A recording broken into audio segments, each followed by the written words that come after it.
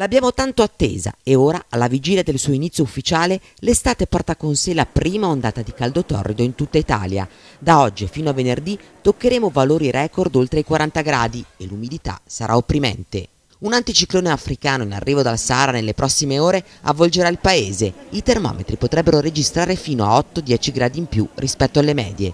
La sensazione di caldo sarà amplificata anche dalla durata delle ore di luce, che proprio in questi giorni raggiungeranno il loro massimo. A iniziare a soffrire sarà il centro-sud, sono già 15 le città in preallerta. Il 21, proprio in coincidenza con il solstizio, arriverà il primo bollino arancione. È il Molise con Campobasso a guadagnarselo, mentre saliranno a 15 le città con bollino giallo. Ancona, Bari, Bologna, Bolzano, Brescia, Firenze, Frosinone, Latina, Perugia, Pescara, Rieti, Roma, Torino, Trieste e Verona.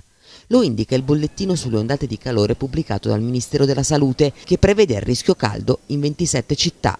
In pratica da nord a sud non si salva nessuno. Anche la Sardegna, con i 40 gradi record previsti a Oristano, vivrà giorni afosissimi e a causa dell'umidità nemmeno in spiaggia ci sarà scampo dalla canicola.